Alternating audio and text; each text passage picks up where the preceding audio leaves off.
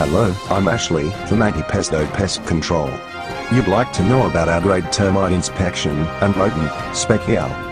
Well, it includes a full 10-page written timber pest and termite inspection and the rodent treatment in your roof. I'll be using a moisture meter to help detect hidden termite activity in your walls. I'll check everywhere, inside and outside, and the roof. Then I will treat your roof for rats. I'm a fully qualified technician with 10 years experience in the field. I will look after you and help you with free advice.